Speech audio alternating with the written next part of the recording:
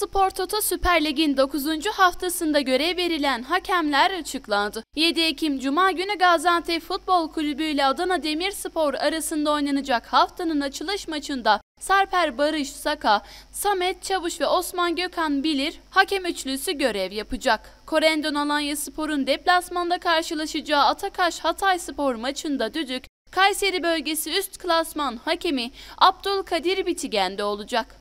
Yeni Hatay stadında 9 Ekim pazar günü oynanacak mücadelenin yardımcı hakemleri Mehmet Emin Tuğral ve Mustafa Sönmez olurken Alper Akarsu 4. hakem olarak görev yapacak. İşte Süper Lig'de 9. haftada oynanacak maçlarda görev yapacak hakemler. 7 Ekim Cuma Gaziantep Adana Demir Sarper Barış Saka. 8 Ekim Cumartesi İstanbul Spor Ankara Gücü Yasin Kol. Antalya Spor Konya Spor Mert Güzenge. Giresun Spor Beşiktaş Yaşar Kemal Uğurlu.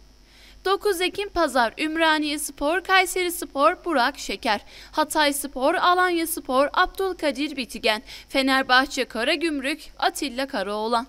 10 Ekim Pazartesi Trabzonspor, Kasımpaşa Hüseyin Göcek ve Başakşehir Sivas Spor Kadir Sağlam olacak.